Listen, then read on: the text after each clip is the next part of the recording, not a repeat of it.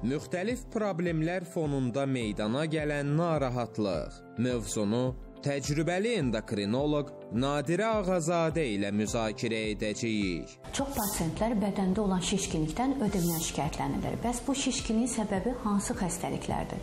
Bəzi dərman preparatlarının qəbulu qaraciyər, ürək, böyrək xəstəlikləri və hormonal xəstəliklərdən də bədəndə şişkinliklər yarana bilər.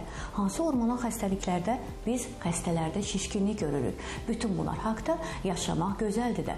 Bizi izləməyi unutmayın. İşinin mütəxəssislərinə müraciət edin ki, canınız sağlam olsun. Bəli, yenə çox önəmli bir mövzu ilə müzakirəmiz davam edir. Əziz izləyicilərimiz, bir neçə dəqiqədən sonra yenə doktorumuzun nömrələri ekranda olacaq. Diqqətiniz bizdə olsun. Qaynar xəttimiz də aktivdir, bilirsiniz. Dayanmadan zəng vurun. Əgər sizi düşündürən bilavasitə doktorumuzla həm söhbət olmaq istəyirsinizsə, suallar varsa, buyurub qaynar xəttimizlə əlaqə saxlaya bilərsiniz. Yox, doktorun qəbulunda olmaq istəyirsinizsə, təbii ki, məhz Nadirə xanımın öz ə, iş nömrəsi ilə qeydiyyata düşüb, ə, məhz konsultasiyadan keçə bilərsiniz. İlk öncə gəlin doktorumuz qohumumuzu daha yaxından tanıyaq dosyasına nəzər yetirək, sonra söhbətimizə başlayaq. Endokrinoloq Nadirə Ağazadə 2004-cü ildə Azərbaycan Tibb Universitetinin müalicə işi fakültəsini bitirib. 2005-ci ildə 4 saylı şəhər klinik xəstəxanasında endokrinologiya üzrə internatura keçib. 2014-cü ildə Türkiyənin Şişli Etval Eğitim və Araşdırma Xəstəxanasında, 2016-cı ildə Ege Universiteti Tibb Fakültəsi xəstəxanasında endokrin və metabolik xəstəliklər üzrə ixtisas artırma kurslarında, həmçinin Ankarada qalxana bənzər vəziyyətdə mərkəzi və hipofiz xəstəlikləri üzrə kurslarda iştirak edib. Müxtəlif illərdə İstanbulda, Tbilisidə, Antalyada, Ankarada, Barselonada, Dubayda keçirilən bir sıra konqres və konfransların iştirakçısı olub.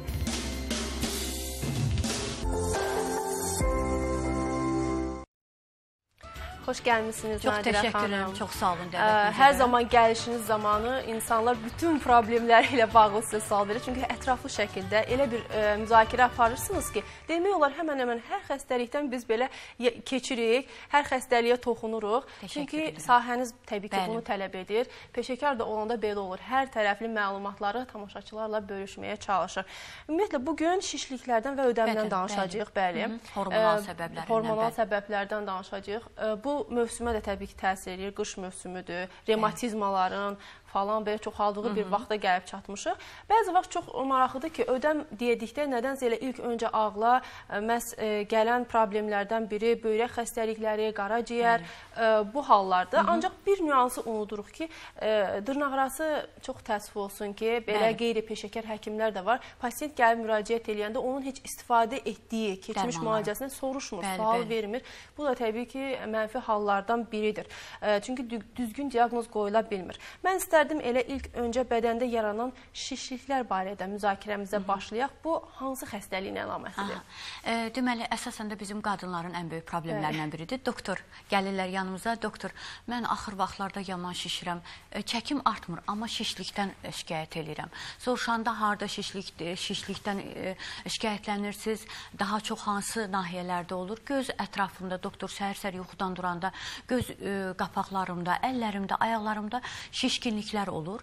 Ümumiyyətlə bədəndə yaranan şişkinliklərin səbəbləri müxtəlifdir. Hı -hı. Bu həm qaraciyər xəstəlikləri, həm böyrək xəstəlikləri, həm ürək xəstəlikləri, allergik xəstəliklərdə bəzi dərman preparatlarının qəbulundan sonra ə, e, yarana bilər. Amma bir səbəb də vardır. Bizim sahənin səbəbi, yəni hormonal səbəblərdir.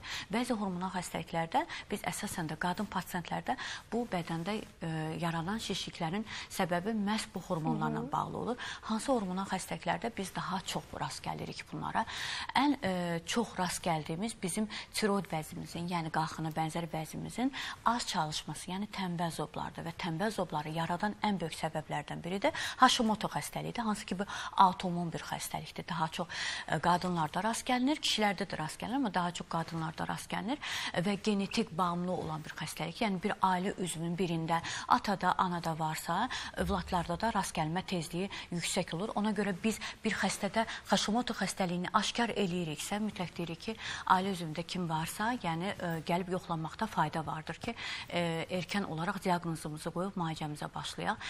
Həmin bu tənbəl zobu, zobdan əziyyət çəkən, amma bu xəstəlikdən xəbəri olmayan pasiyentlər hansı şikayətlərlə, ə, şişliklə yanaşı hansı şikayətlər olur bunlarda? Qəbizlik ola bilər, yaddaşın pisləşməsi ola bilər, diqqətin, konsentrasiyanın azalması ola bilər. Qadın pasiyentdirsə menstrual siklin pozulması ola bilər, dərinin quru olması, ə, e, e, daha sonra yuxululuq ola bilər və e, çəkinin artması. Çəki ə, bizim xəstələrin ən çox yaralı yeridir və ən çox yanımıza gəldikdə birinci dedikləri şikayət ya bədəndə olan şişkinlik, ya da ki, çəkinin getməməsinə, kilo doktor mən kilo Hətta alıram. Hətta belə deyirlər, mən çəkili deyirəm ki, şişəm. Şişəm. şişir. Bəli, bəli. Əslində dediklərində bir həqiqət vardı. Doğrudan da xəstəni biz anamnezi topladıqda, diqqətlə xəstəni da danışdırdıqda xəstə deyir ki, e, görürük ki, doğrudan da e, bu xəstə qidalama rejimlər riayət eləyir. Fiziki hərəkəti kifayət qədərdir, amma xəstədən aslı olmayaraq kilo verə bilmir və yaxud da ki, mən ə, ə, yanımdakı məndən çox yeyir, ə, o kökəlmir, amma mən kökəlirəm. Ə, biz müayinə etdikdə, hormonal e, müayinələrimizi etdikdə həqiqətən də xəstədə e, deməli hormonal səbəblərin olduğunu aşkarlayırıq və ən çox da səbəb dediyimiz bu tiroid vəzinin az çalışmasıdır. Ümumiyyətlə tiroid vəzimiz özündən hormonlar sintez edər. Bu hormonların az və yaxud da ki, çox sintez olması hər ikisi xəstəlikdir.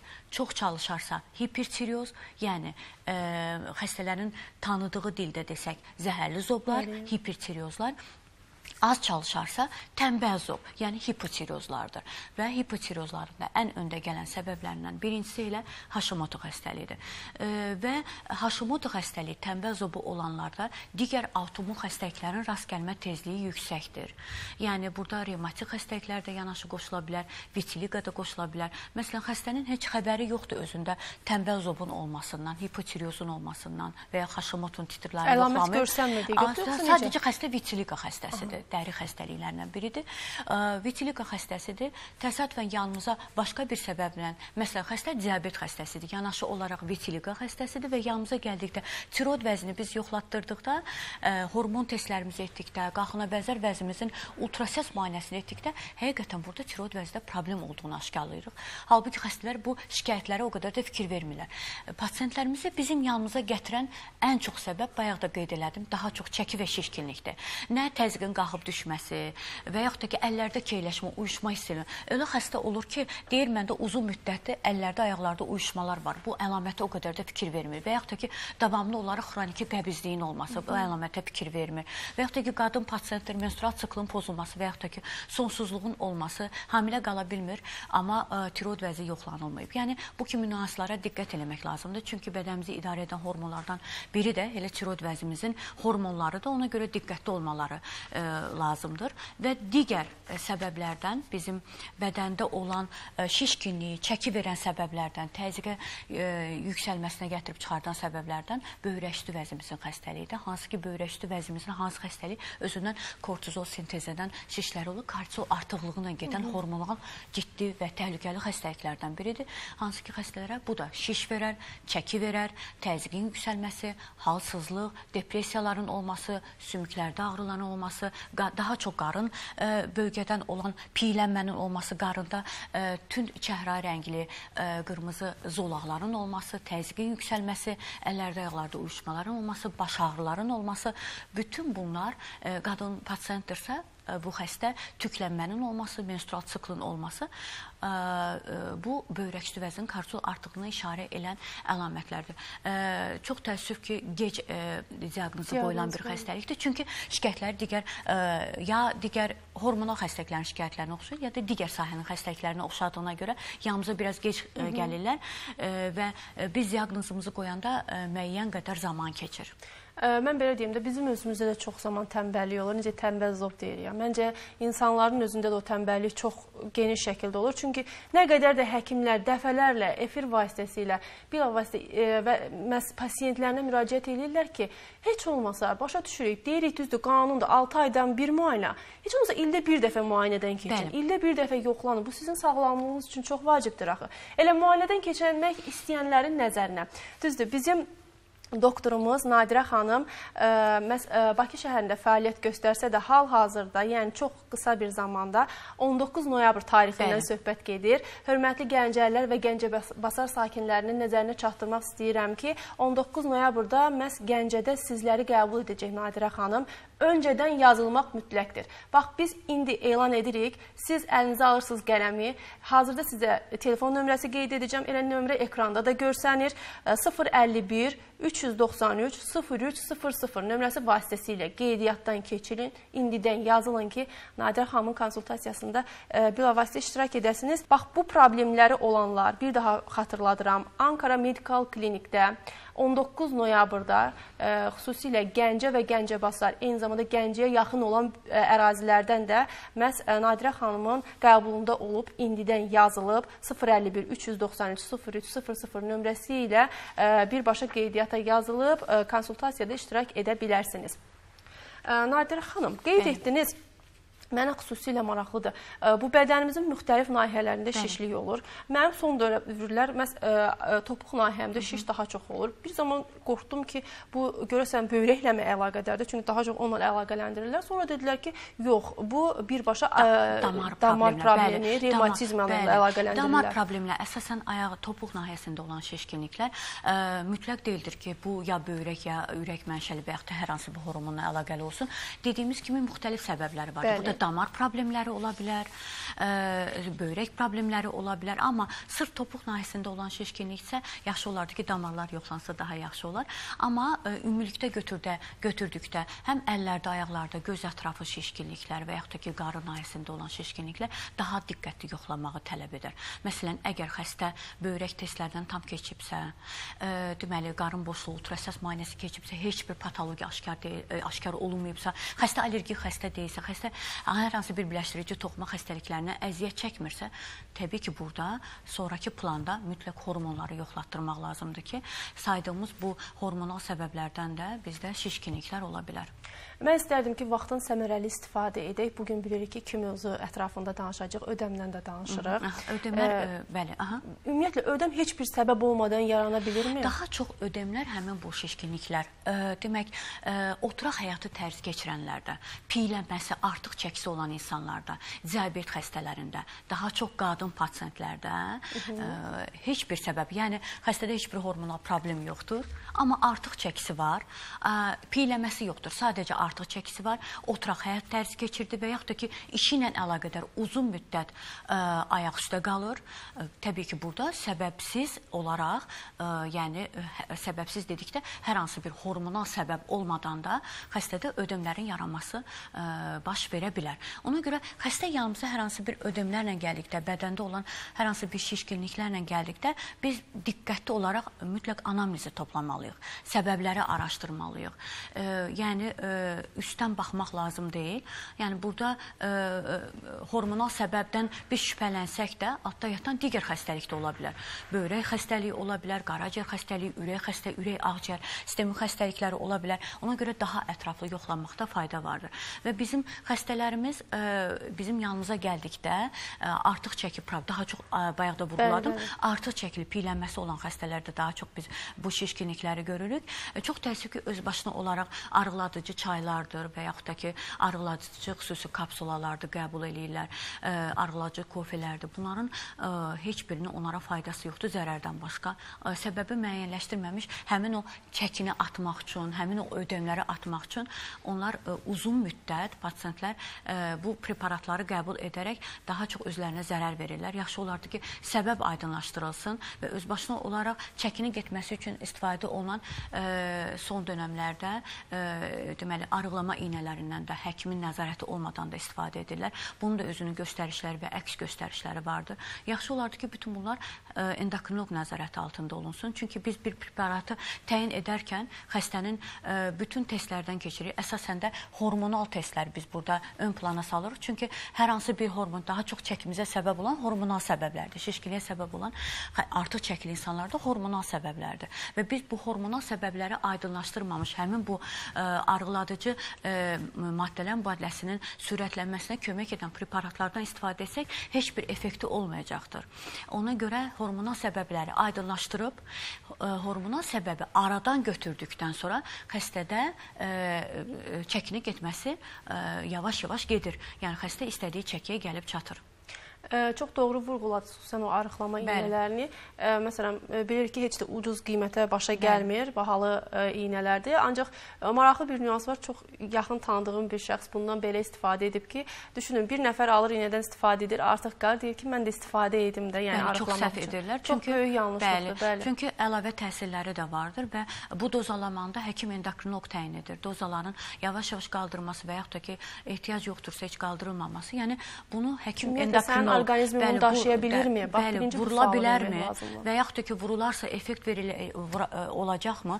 Və hər hansı bir daxildə yatan hormonal səbəb varsa, məsələn, o qədər olur ki, xəstələrdə e, xəstələr istəyir həmin bu iynələri. Biz hormonal səbəbləri araşdırdıq. Burada ciddi böyrəkli vəzi problemini aşkar edirik. Və yaxud da ki, hipofiz vəzimizin kort, ə, kurşun xəstəliyini və yaxud da ki, kurşun sindromu aşkar edirik. Və yaxud da ki, qadın pasientdirsə prolaktin yüksəkdir və yaxud da ki, tiroid vəzimizdə hansısa bir problem vardır. Bütün bunlar e, müalicə olunmazsa, e, arıqladıcı heç bir e, preparatlardan istifadə eləmək əks göstərir. Yəni birinci səbəb aradan qaldırılmalıdır. Bir də qadınların ən böyük problemi bu şişliklərdən əziyyət çəkmə, çəkənlərdən söhbət gedir. Klimaks və menstruasiya zamanıdır. Hər kəs düşünür ki, niyə bəli, bu bəli. zaman qadınlarda daha çox şiş hallar bəli, baş bəli. verir? Fizioloji olaraq bayaq deməyi unutdum, yaxşı yadıma saldınız. E, deməli, ödemlərin səbəbsiz olan heç bir, e, yəni patoloji olaraq heç bir xəstəlik yoxdur xəstədə. E, artıq çəkilidirsə və yaxud da ki, e, uzun müddət ayaq üstə qalır və yaxud da ki, e, oturaq həyat tərzi keçirilir və yanaşı olaraq menstruasiya önü e, dövrdə, yəni deməli pre menstrual dövrdə biz xəstələrdə xəstələrin dediyi şikayətlərdən biri də doktor mən şişirəm. Bəli bu fizioloji bir haldır. Yəni heç bir ə, xəstəliyin göstəricisi deyil. Ə, demək olar ki, əksər qadınlarda rast gəlinən bir şeydir və heç bir müalicə tələb etmir. Sadəcə olaraq bu dövrlərdə xəstələr qadın pasientlər nə etməlidirlər? Daha çox hərəkət, daha çox ə, normal yuxu, ə, duzlu və karbohidratlı, çoxlu karbohidratlı ə, qidalardan uzaq durmalıdırlar. Çünki ə, e, daha çox turş və duzlu yeməklər və karbohidratlar e, bu ödemi biraz da, bu şişkinliyi biraz da artıracaqdır. Ona görə bu dövrdə həmsə, həmişə biz xəstələrimizə bunu məsləhət görürük. Yəqin ki, Nadirə xanımın dəyərli məsləhətlərini hər bir izləyicimiz diqqətlə izləyir. Bir daha vurğulayıram, Nadirə xanım Funda Hospitalda çalışır. Çox dəyərli və peşəkar endokrinoloqdur və qəbulunda olmaq üçün e, ekranda hal-hazırda nömrələri görürsünüz. Ə, bir çox ə, xəstəliklər var ki, bu xəstəliklərin müalicəsini e, doğru şəkildə təbii ki, e, yerinə yetirmək üçün peşəkarlarla ünsiyyətdə olmaq lazımdır, qəbulda olmaq lazımdır, düzgün diaqnoz qoyulmalıdır ki, bu diaqnoz nəticəsində müalicəniz də düzgün şəkildə həyata keçsin. Bir daha vurğulamaq istəyirəm. 19 noyabrda məhz Nadirə xanım Gəncədə olacaq. E, Ankara Medikal Klinikdə olacaq. Əziz Gəncəlilər, Gəncəbasar bölgəsi və Gəncəyə yaxın olan digər e, şəhərlərdən də söhbət gedə bilər. Ola bilər Bakıya gəlməkdə çətinlik çəkirsiniz. Nadirə Nadirə xanım sizin bu çətinliyinizi aradan götürür. Birbaşa Nadirə xanımın konsultasiyasında iştirak etmək istəyirsinizsə, problemləriniz varsa, veriliş əsnasında görün nə qədər mövzuya toxunduq, nə qədər problemdən danışdıq. Hər birimiz, mən özüm şəxsən Nadirə xanım danışdıqca özümdə o problemləri hiss etdim. Gördüm ki, həqiqətən həkimə getmək lazımdır vaxtında və zamanında. 051 393 03 00 nömrəsi vasitəsilə indidən yazılın. Çünki 19 noyabra çox az qalıb. Hazır 19 noyabrda Gəncədə Ankara Medical Klinikdə Nadirə xanım hansı xəstələri Hı -hı. qəbul edəcək? Deməli, kim, kimlər müraciət edə bilər bizə? Şəkərli diabet xəstələri, zob xəstələri, zəhərli zoblardır, tənbəl zoblardır, Hashimoto zoblarıdır və yaxud da ki, əməliyyat olunub xəstə zoba görə əməliyyatdan sonra mütləq endokrinoloq qəbulunda olmaq lazımdır. Qadınlarda tüklənmədir, menstrual siklin pozulmasıdır, piylənmədir, artıq çəki problemlərdir, sümük əriməsidir. Daha çox bizim gördüyümüz xəstələr bunlardır. Yəni bu belə xəstələr e, rahat rahatlıqla bizə müraciət edə bilərlər. Bəli, bir daha vurğulayıram. 051 393 0300. İndidən qeyd edin, yazılın mütləq şəkildə. Çünki o zaman e, birdən olur da insanlar izləyir, deyir ki, ayın 19-udur. E, doktor gəldi, mən gedim Ankara Medical Klinikə və qəbulunda olum. Gedəcəksiniz ki, növbə çoxdur. Təəssüflənəcəksiniz ki, niyə fürsətdən istifadə edə bilmədim? Fürsətdən istifadə etmək üçün əziz izləyicilərimiz təbii ki, vaxtı, zamanı dəyərləndirmək lazımdır. Çox sağ olun Nadirə xanım gəldiyiniz üçün, maraqlı ə, və faydalı məsləhətləriniz üçün. Edirəm. Ümid edirəm ki, hər zaman necə ki pasientləriniz sizdən razıdır, ə, sizin məsləhətlərinizə də düzgün şəkildə əməl və riayət edərlər. Mən sizə istərdim sonda ə, proqramımızın baş sponsoruna bir daha öz təşəkkürümü bildirim. Proqramımızın baş sponsoru Karega brendidir. Diş protezinin gün ərzində etibarlı fiksasiyası üçün Karega kremindən istifadə edin. Protezin effektiv təmizlənməsi üçün isə Karega bioformula tabletlərindən istifadə edin. Karega gündəlik istifadə edilməli olan protezlər üçün vacib bir qulluqdur. Artıq dünyada milyonlarla insan Karega məhsullarından istifadə edir. Siz də sınayın. Karega ilə inamla yeyin, danışın və gülümsəyin. Bu həftəlik bizdən bu qədər. Növbəti həftə görüşmək ümidi ilə özünüzün və sağlamlığınızın qeydinə qalın. Yaşamaq gözəldir. Karega brendinin baş sponsorluğu ilə izlədiniz.